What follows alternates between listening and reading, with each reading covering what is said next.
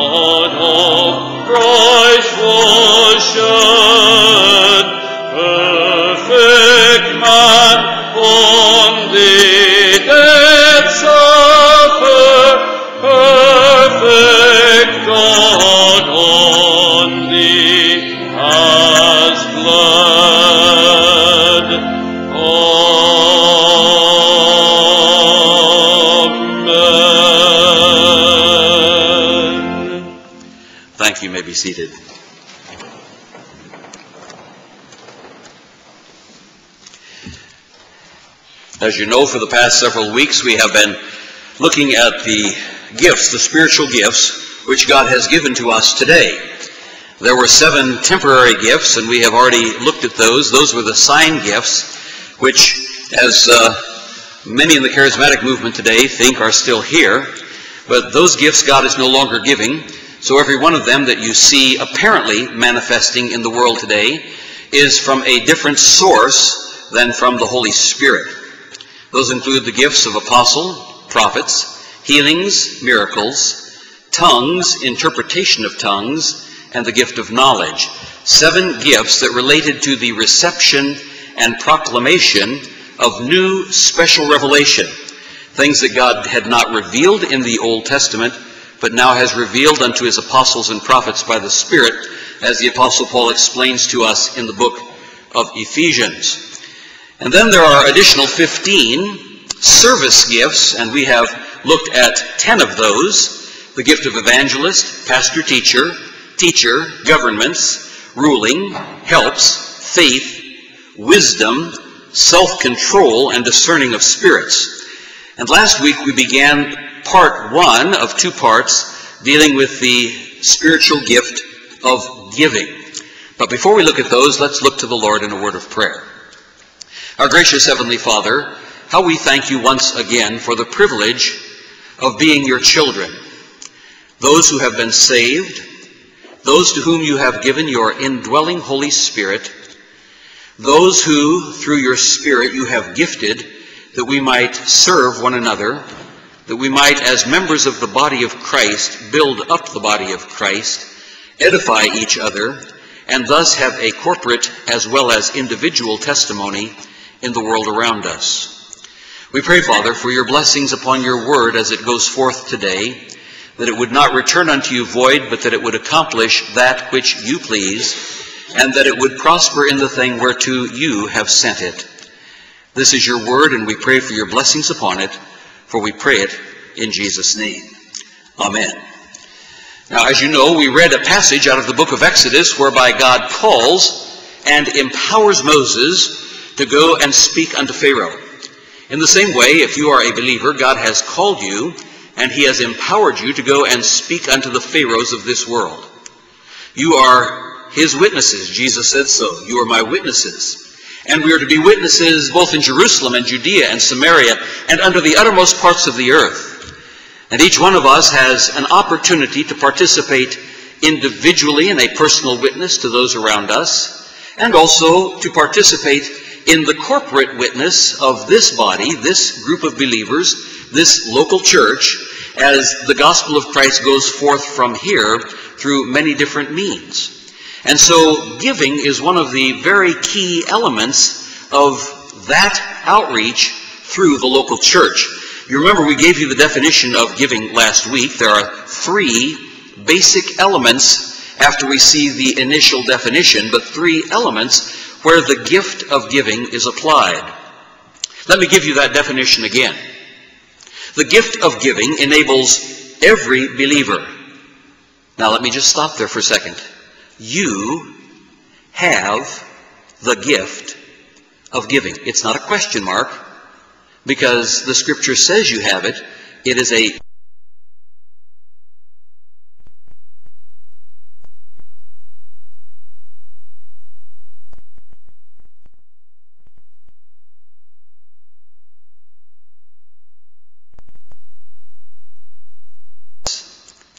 And then he commands you to exercise it in the way in which he has ordained. And there are specific ways, the New Testament tells us, in which the gift of giving is to be exercised. We'll begin looking at those this week. It enables every believer to provide money and genuine need-based, not extraneous, not foolish, not uh, just things that people are greedy for, provide need-based material goods to needy believers. And God tells us how it's to be done. Cheerfully, generously, freely, and in simplicity. Those four descriptive terms are used of the gift of giving in the New Testament. The gift of giving is to be exercised cheerfully, generously, freely, and in simplicity. And we'll talk about what those words mean a little bit later, the Lord willing. Now, here are the three basic areas in which the gift of giving is to be exercised. Number one, to support the corporate ministry and outreach of the local church with which the believer is a functioning part. In other words, if you are a functioning part of this church, whether or not you are a, quote, member or not, but if you are a functioning part of this church, your giving is first of all to be directed here, not someplace else. We gave the illustration last week that if you buy your hamburgers at Burger King, you don't go down the street and pay at McDonald's. This is the place where God has called you to be a part, a functioning part, and therefore your first line of giving should come to and through this local church. Number two, to support the pastor or the evangelist of the church, and we'll be looking at that more in detail today. And number three, to support sister churches undergoing persecution and or severe need, as the churches of Macedonia did with their mother church, the church at Jerusalem. And we'll talk about that a little bit later on. Now, we talked about that last time, and we noted the differences, the distinctions between giving and tithing. And when people ask the question, should I tithe on the grocer on the net, they are approaching it in the wrong way. What do you want God to bless, the gross or the net? That is really the wrong question because it focuses on limiting our giving to God. And New Testament giving is not a matter of limiting, but a matter of determining what is the maximum that I could possibly give, and then giving it cheerfully, generously, freely, and in simplicity. We saw that tithing was a mandatory percentage under the law, but giving is not a mandatory percentage. And if you want to work on percentages, we noted the passages in the Old Testament that showed that the average tithing in the Old Testament was 20%. 10% the first year, 20% the second year, 30% the third year, then back to 10%. That average is 20% over a period of three years. So if you really want to be back under the law, that would be your minimum, 20%. Certainly, giving out of love would go farther than that. We noted also that as you looked at the law of the offerings in the Old Testament, the offerings were in addition to the tithe. There were all kinds of different offerings that were given, and some of them were a tax, and some of them were a penalty for different sins that were committed. And there were various gradations of the offerings, all the way from flour offerings, meal offerings they're called, all the way up to have to offering a bullock. That would be like offering a brand new car to the Lord. Uh, depending on the level of the sin that you had committed, and you were trying to give a sin offering to make atonement for that. It was a very expensive system. Minimum 25, perhaps 30% for some people who didn't keep their act together, or more. A very expensive system to be under. And it was a matter of requirement. It was not a matter of a generous heart. The only thing that is of the generous heart listed in the Old Testament under offerings is the free will offering or the voluntary offering, which was above and beyond all of the rest of these things. When a man was delighted in the Lord, he could bring this voluntary offering to the Lord. It's mentioned six times in the Old Testament. But rather than having an entitlement mentality of we own so much and we only give God as little as we can, we saw that there were four basic principles that would motivate us if we are truly saved to want to give above and beyond that which was required by the law. Number one, we are douloi, we are bond slaves of Jesus Christ. A slave owns nothing. The slave and 100% of what the slave owns belong to his master. Second, we are stewards of the Lord Jesus Christ. We are not merely bond slaves, but we are stewards, bond slaves who serve as those who are responsible for the management of their master's goods. What we have does not belong to us, but we are stewards of it.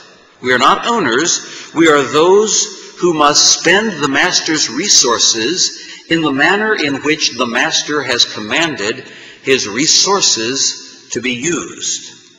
The third thing we need to remember, which we saw last week, is that everything we have has come directly from his hand.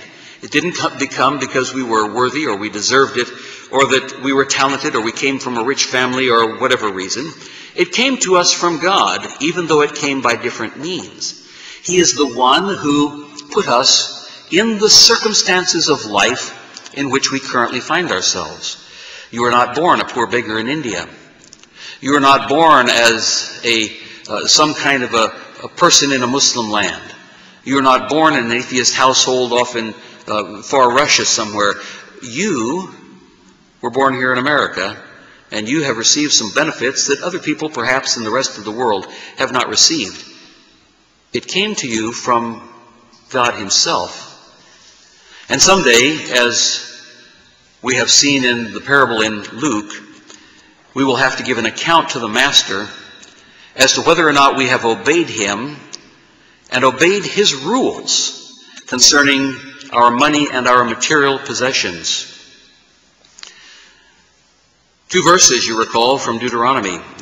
If thou shalt say in thine heart, My power and the might of mine hand hath gotten me this wealth, remember the Lord thy God, for it is he that giveth thee power to get wealth, that he may establish his covenant, that he swear unto thy fathers, as it is this day. Those who have obeyed him and those who are in the line of those who have obeyed him have experienced his blessing, and our country certainly has experienced that. But God provides for us our material wealth so that we will remember his covenant to us, his blessings, his promises. Instead of turning our backs on him and deciding to use our money the way we want to use it, we should use it to honor him for he is the one who has provided it. The Apostle Paul wrote, Let a man so account of us as ministers of Christ and stewards of the mysteries of God. Moreover, it is required in stewards that a man be found faithful. 1 Corinthians 4 1 and 2. He reminds us that what we have, even though it may be different than what someone else has, is because God is the one who put us that way for who maketh thee to differ from another? Or what hast thou that thou didst not receive? Now, if thou didst receive it, Why dost thou glory as if thou hadst not received it? There is no room for arrogance and pride if you are wealthy. There are many in the world who have a lot of money and it makes them very arrogant and they think they are better than other people. Paul says, Why do you glory? Why are you proud? Why are you boastful about what you have as though you didn't receive it? Because everything you have has been a gift from God's hand.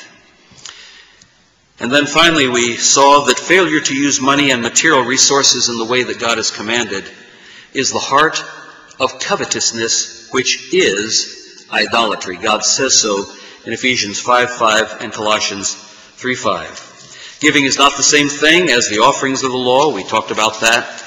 And then giving most closely parallels the free will offerings. So what we ended with were some teasers for you last week. Approximately 500 verses in the Bible speak about faith. Approximately 500 speak about prayer. But more than 2,000 verses in the Bible deal with a believer's attitude toward money and wealth management. One out of every four verses in the Synoptic Gospels refers to wise money management, and 12 of the 36 parables, that's one in three, teaches a proper attitude toward material wealth. And so today, we move on to the second part of the gift of giving, and we move over to Romans chapter 12, verse 8, where it is listed among the spiritual gifts. Romans chapter 12, verse 8 tells us, He that giveth, let him do it with simplicity. Very straightforward. It seems to us uh, very easy to obey, but it's rather interesting to know what the word simplicity is. It's the word haplotes, from which we get our English word duplicitous. Duplicitous. Someone who is duplicitous has ulterior motives. The Greek means literally without folds doubled over in the cloth. A man who would come to slay Caesar, for example, would not walk into the Senate with his sword held high above his head like this. He would, as you know from the murder of Julius Caesar, have his dagger hidden under the folds of his cloak. That is what giving is not supposed to be like. Let it be with simplicity. Let it don't be with the double folds in the cloth. No ulterior motives hold it, held in the folds of the cloth. We find that there's an illustration of this given to us in the New Testament in the book of Acts. I think you have heard of Ananias and Sapphira. They failed that test for giving. And what did it cost them? It cost them their lives. They had ulterior motives in their giving, and it cost them their lives. Be careful of three things in your giving. Number one, be careful of pretending to give what you have not given. Here, they would have claimed that they had given 100%, but they didn't give 100% to match their claim. God called that lying to the Holy Ghost. Number two, be careful that you don't have a hidden agenda or ulterior motives in your giving. I have known some who have given and made it known so that they might get a position in church leadership. Others so that they might get business because they were in a particular business that many in the congregation might want to use.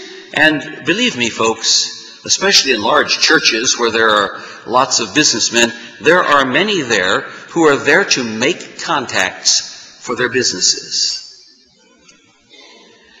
If your giving is based on those kind of agendas or ulterior motives, you're in trouble.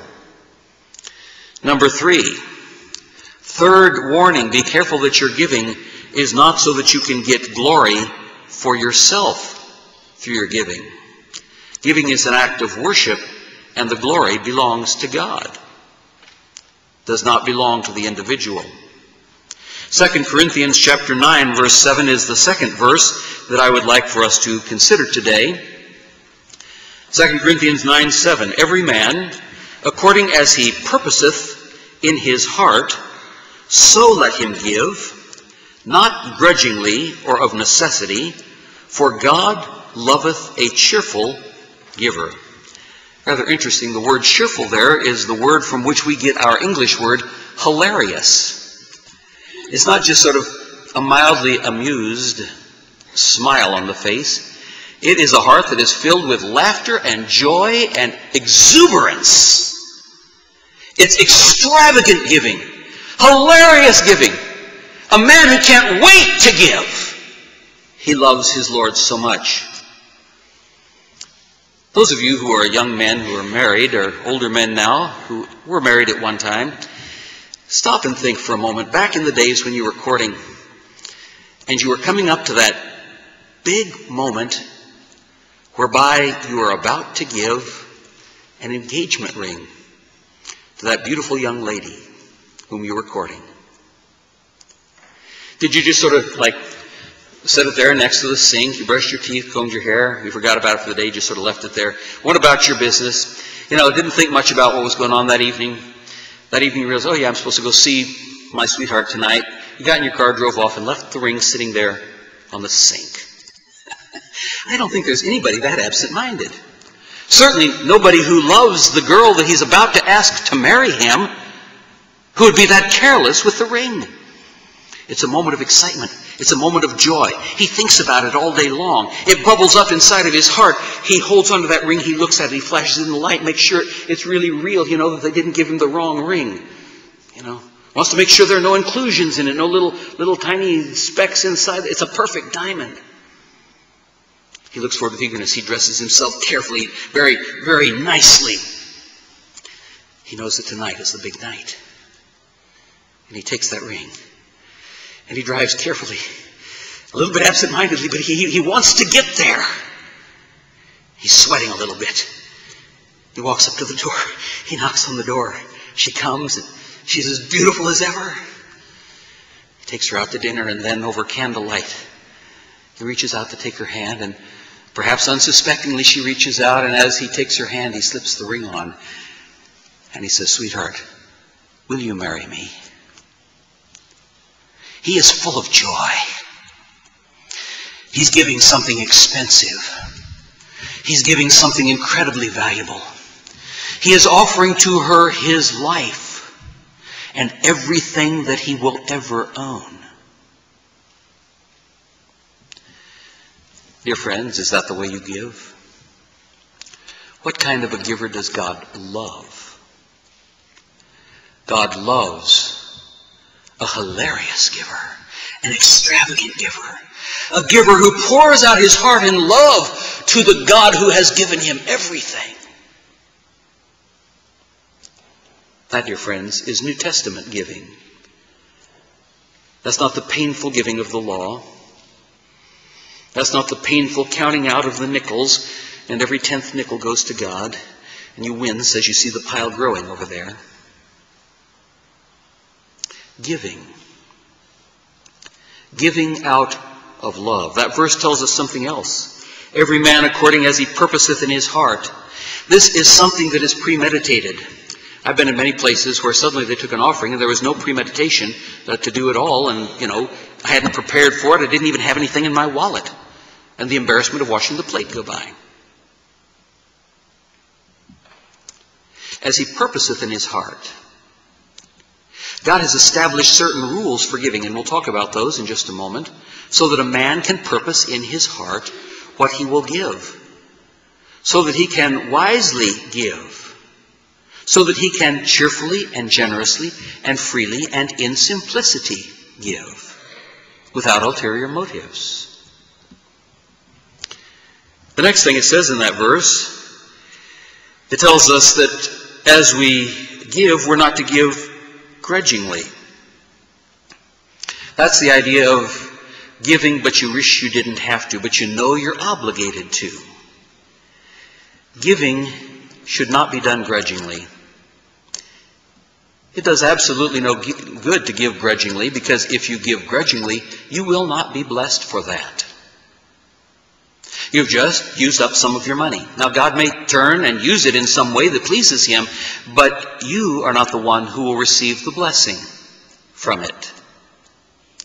God can take even the worst situations and use them for His glory. We see that with the cross, and we'll be celebrating that shortly. The, the mo- moment, the point of the greatest hatred of man on earth, all of his sin and viciousness poured out against Christ, all of it borne by Christ. The moment of greatest hatred is God's moment of greatest giving and love. So it's not a matter of what God will do with it in the end, and thus it's an excuse. But you will not be blessed if you give grudgingly or of necessity. Paul is taking us back to the law. He's reminding us that our giving is not a matter of necessity. Our giving is not a matter of what was required under the law. Our giving is a matter of grace and of love. For God loves a cheerful giver. An illustration of that is the way the churches of Macedonia gave to the persecuted church in Jerusalem. We mentioned it in passing, but Paul says so in 2 Corinthians chapter 8, verses 1 through 5. Moreover, brethren, we do you to wit of the grace of God bestowed on the churches of Macedonia. You say, wow, God bestowed his grace on the churches of Macedonia, so they must have been really rich churches. God gave his grace to the churches of Macedonia, so they had so much, they didn't know what to do with it, and they thought, where can we help out? Oh, I guess they got some problems at Jerusalem. Listen to the grace of God. Here's what the grace of God was. How that, in a great trial of affliction, the abundance of their joy, these are going to be hilarious givers. They are giving out of an abundance of joy, not an abundance of money. They are giving out of an abundance of joy. And they are giving in the middle of a great trial of their own afflictions. They were suffering persecution. But you say, well, they still might have had a nest egg hidden under the mattress. They were going through some persecutions, but they had, they had packed it away. They'd, they'd got their little savings, uh, you know, put away safely in a, a bank in, a, in Switzerland. And so even though they were going through affliction, they didn't have to worry too much. No, that's not the case. They had affliction, but they were filled with joy. And the next phrase, and their deep poverty. Here was a church that was going to give intensely and generously to meet some needs in Jerusalem. They were undergoing persecution. Most of us would try to pull everything in at that moment. But you see, they had such joy in their hearts for the salvation that they knew they had in Christ. And for the fact that the church at Jerusalem was the one who had sent the missionaries to them and now that church had a need. They were really poor. They said, you know, not sure we're going to be able to make it through next week. We're really poor. But it said, it abounded, their deep poverty abounded unto the riches of their liberality, the riches of their generosity. For to their power I bear record. Paul bears record himself. Yea, and beyond their power it wasn't just as much as they thought they could give, it was more than they thought they could give. Beyond their power, they were willing of themselves, praying us with much entreaty. Paul did not have to twist their arm. They begged Paul to take the offering to Jerusalem, bearing, praying us with much entreaty that we would receive the gift and take upon us the fellowship of the ministering to the saints. Do you understand what that says? They didn't just love themselves. They didn't even just love their local church. They loved other believers. Some of them had never even met. But they were, knew they were true believers. They knew they had a genuine need. And they said, after we consider what God has done for us, how can we withhold the need of these other Christians? God will meet our needs. Let's take and give as much as we can and beyond what we can so that we can help them. Folks, is that the way you give? Is that the kind of love that motivates your giving? Praying us that we would receive the gift and take upon us the fellowship. You see, this develops a bond of fellowship, of the ministering. Here it is a service to the saints. And this they did, not as we hoped, but first gave their own selves unto the Lord. They went back and said, you know, really the bottom line in all of this is we belong to Christ. Lord, we are giving ourselves once again. It's like a rededication, a recommitment. You ever heard about that? You say, you know, I, I, haven't done everything I should have for the Lord. I haven't, I haven't given the way I should have. I haven't served the way I should have. I haven't witnessed the way I should have. Lord, I've sinned. I'm rededicating my life. I want you to take full control of it now. And every focus of my life, I want it to focus on Jesus Christ and serving Him because someday as a steward, I will stand in His presence and give an account for what I have done with my stewardship. That's a powerful passage, folks. They first gave their own selves and unto us by the will of God. Let me summarize that. Don't look for ways to reduce your giving. Look for ways to increase your giving. Let me notice some other things about the New Testament gift of giving. Why do we take our offerings on Sunday? Well, that's what we see in Scripture. 1 Corinthians chapter 16, verse 1. Now concerning the collection for the saints, as I have given order to the churches of Galatia, not suggestion, order, even so do ye. So this was not just a principle related to Corinth only, but it was related to all these churches that Paul had ministered. Verse 2. Upon the first day of the week, let every one of you lay by him in store, as God hath prospered him, that there be no gatherings when I come. And when I come, whomsoever ye shall approve by your letters, them will I send to bring your liberality unto Jerusalem. Here we find the Apostle Paul setting some safeguards. He tells us the giving is supposed to be on the first day of the week. We don't want to, if I show up on Tuesday, we want to have a special offering taken on Tuesday. He says it should be systematic, it should be weekly, it should be on the first day of the week, and it should be thought through, laid by him in store not based on the tithe, but based on how God has prospered him. Some may be prospered greatly, some may be prospered only a little. You lay by you in store as God has prospered you, so that there will not be all these special offerings. The church today duns people for money every time we walk through the doors. But the New Testament church, it was the first day of the week only, so that there would not be special offerings. Them will I send to bring your liberality to Jerusalem.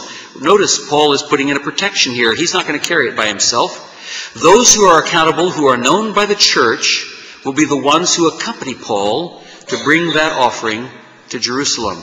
There is accountability in the use of the funds and the offerings which God's people have brought for specific purpose. Notice something. Those are the five elements in corporate context. Now, there's individual giving outside of corporate giving, but in the corporate context, first, day of the week. Number two, it's pre planned and systematic giving. Number three, it applies to every believer. Let every one of you, says the Apostle Paul. He doesn't make any exceptions. It is every believer. And so if you are not giving money, the collection, stated in verse 1, to and through the church, and for the work of the church, let me be very blunt. If you are not giving money to and through the church for the work of the church, you are in specific rebellion and sin to the command of God's word. There are many people who say, well, I can give other things. I can give this way or that way or the other thing. I'll give the church my used stuff. I'll give the church my junk. Back in the Old Testament, God didn't appreciate that, neither did he in the New Testament.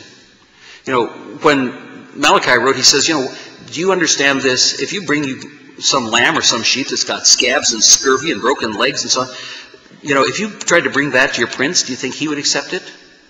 Well, if you do that and a human won't accept it, why do you think you can give God your junk? Too many people want to give God their junk and then take a tax receipt for it. Please, folks, God deserves our best. Number four, it's based not on the tithe principle, but on how God has prospered. Let me give you an illustration. Some of you may have heard, especially those of you who are a little bit older, of a man by the name of R.G. Letourneau. Letourneau College in Texas is named after him. R.G. Letourneau was the founder of Caterpillar Industries. Those are the ones that make the gigantic earth-moving equipment, monster, monster machines, huge machines. R.G. Letourneau worked on the basis of 10% and 90%, except he kept 10% for himself and gave 90% to God. Have you ever thought about that? On the basis of how God has prospered. Begin to revise your thinking so that you think New Testament giving instead of Old Testament minimal tithe. Giving joyfully, giving extravagantly, giving in a way that says, I think the things of this world don't belong to me. The things of this world belong to God, and I'm supposed to use them the way He wants me to use them. The things that I want, the things that I'm focused on, are the rewards in heaven. We'll all be there soon enough. I know our, our old flesh resists that thought, doesn't it? We resist that because for years we've held to the other. Dear folks, what does the Scripture say? Is there a living God? Are we stewards of His? Does what we own belong to Him? Will we someday have to give an account for it?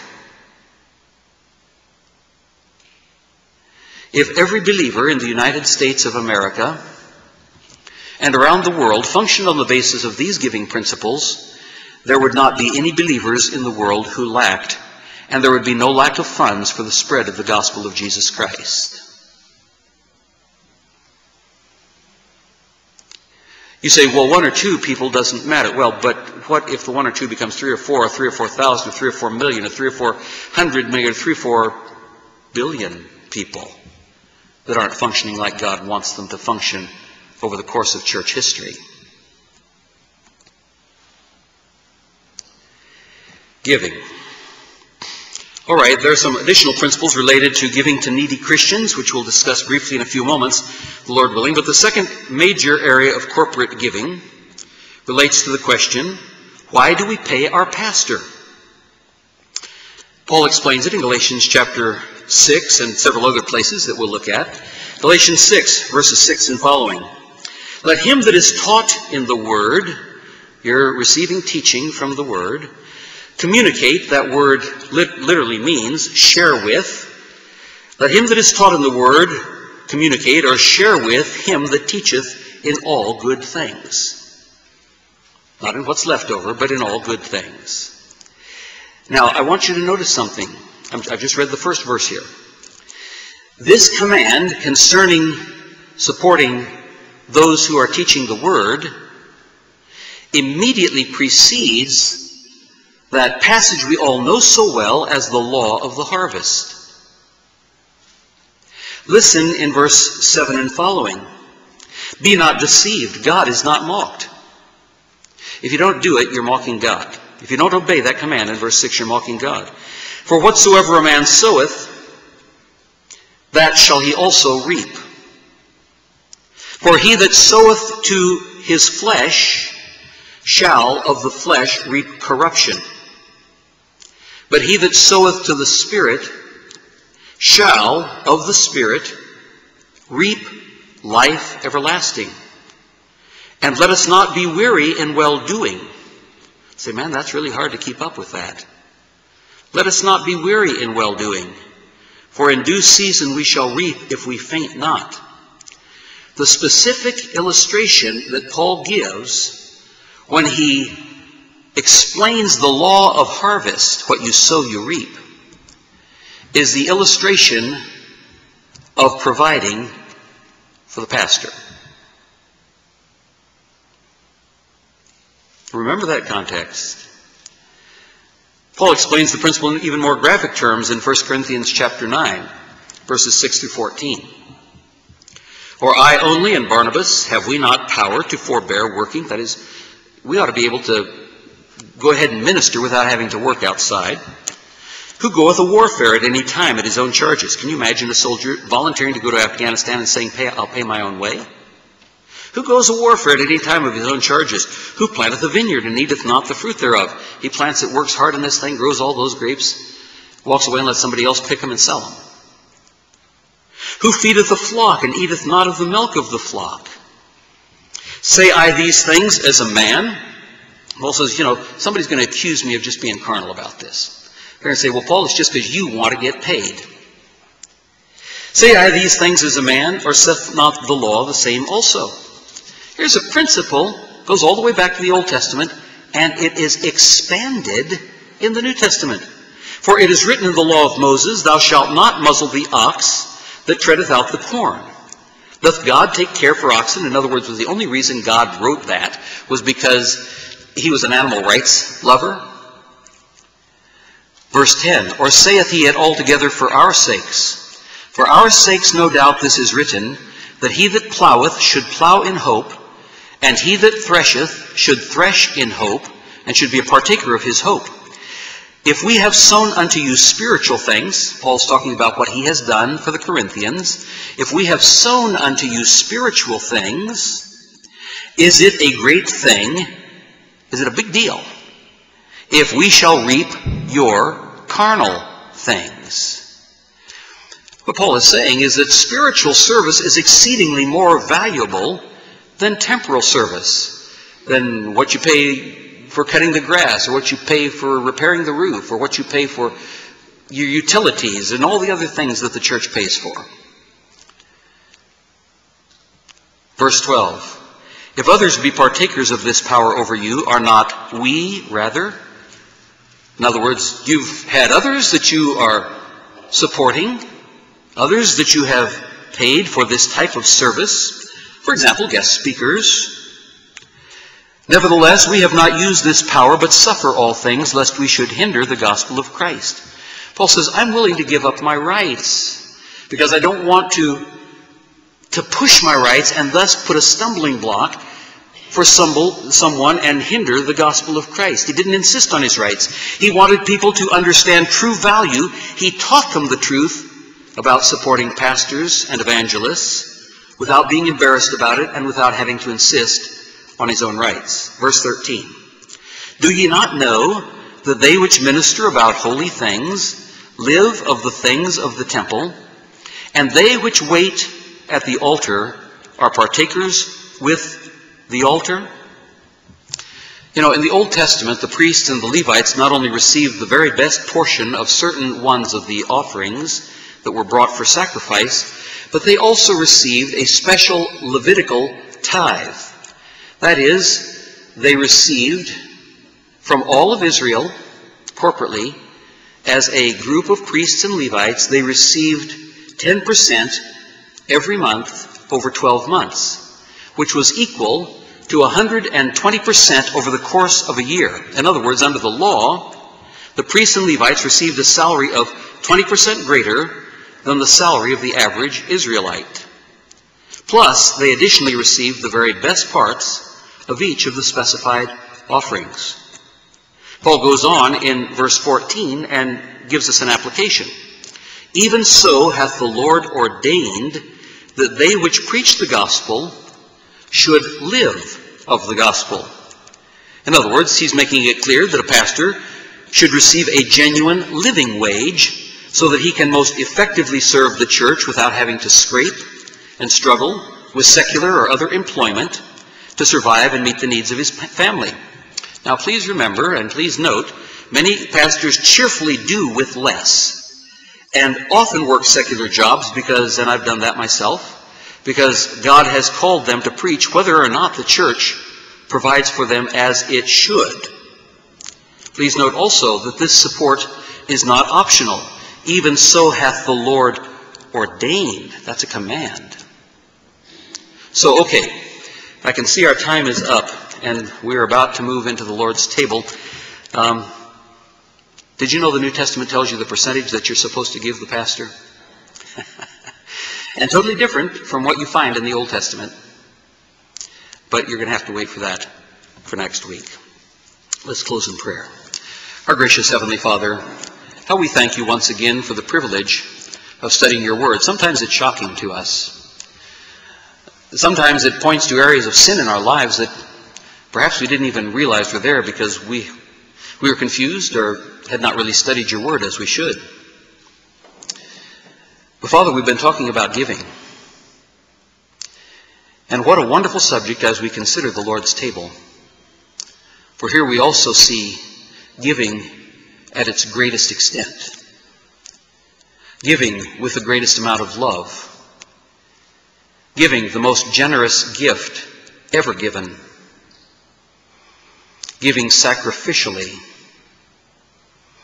Giving joyfully and freely. Giving based on love. The giving of your only begotten Son, our Lord Jesus Christ, who died in our place, who was buried, and who rose again. Father, as we consider your gift to us, does it not move our hearts to want to give to you in love? Oh, Father, as we come to your table, we pray that you will cause us to come with clean hands and a pure heart. We pray, Father, that if there is sin in our lives that needs to be confessed as sin, right now your Holy Spirit will convict us of sin. Right now your Holy Spirit will motivate us to confess that sin and to repent of it. The Father, you would cleanse us, for your word says if we confess our sins, he is faithful and just to forgive us our sins and to cleanse us from all unrighteousness. And so, Father, in the quietness of this moment, we confess our sins to you and thank you for the gracious cleansing that comes through the blood of your Son, Jesus Christ, our Lord and our Savior, in whose name we pray. Amen.